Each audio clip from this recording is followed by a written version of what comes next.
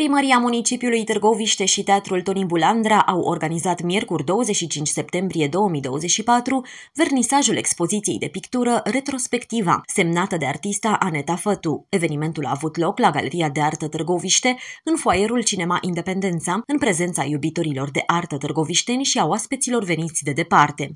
Este o artistă foarte implicată din ceea ce vedem aici. Este o artistă care uh, vorbește uh, despre rafinatele griuri colorate. Uh, griul este un apanaj al energiei feminine, așa a fost el interpretat în simbolistica civilizației și iată o artistă care, cunoscând sau necunoscând acest fapt, a simțit de fapt că griurile sunt cele care o reprezintă, care îi evocă dimensiunea aceasta emoțională, cea care se relevă de fapt pe suprafața dimensională.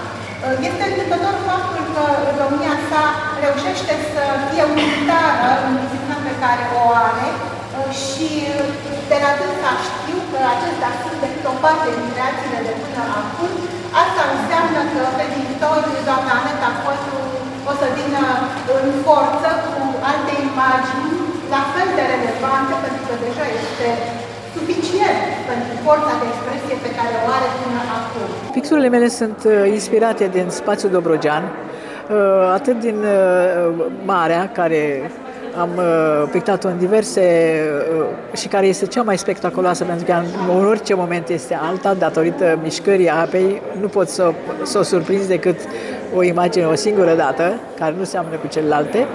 Uh, satul Dobrogean, sunt și clădiri interbelice care au uh, așa neglijate, de fapt, de asta am și am una, iar satul Dobrogean este modest, într-o zonă mai mult gri și într-o zonă pe malul Dunării uh, mai mult colorată. Eu sunt medic stomatolog.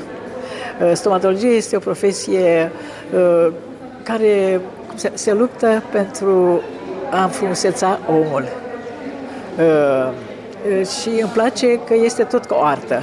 Îmi place stomatologia, am 84 de ani, dar încă lucrez, așa, și eh, pictura a venit eh, ca o, cum să spun, ca un refugiu, așa de o relaxare.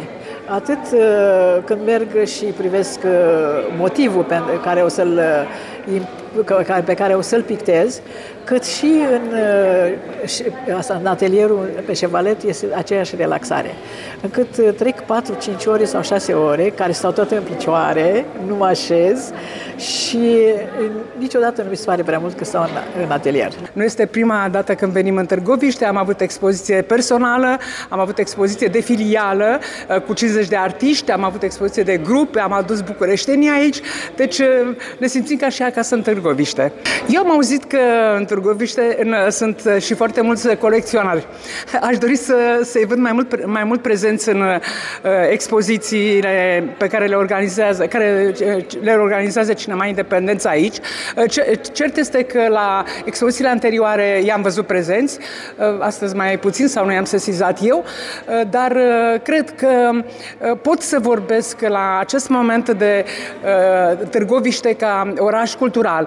Uh, aseară am văzut o piesă de teatru aici, uh, astăzi este o expoziție de o înaltă ținută, o expoziție pe care uh, greu o poți vedea în București la nivelul acesta, adică trebuie să fim conștienți și să-i dăm cezarului ce al cezarului, pentru că este o expoziție într-adevăr a unui artist remarcabil, are 84 de ani, deși este medic stomatolog, își împarte timpul între cabinet și, și atelierul de pictură. Deci este un artist ajuns la maturitate.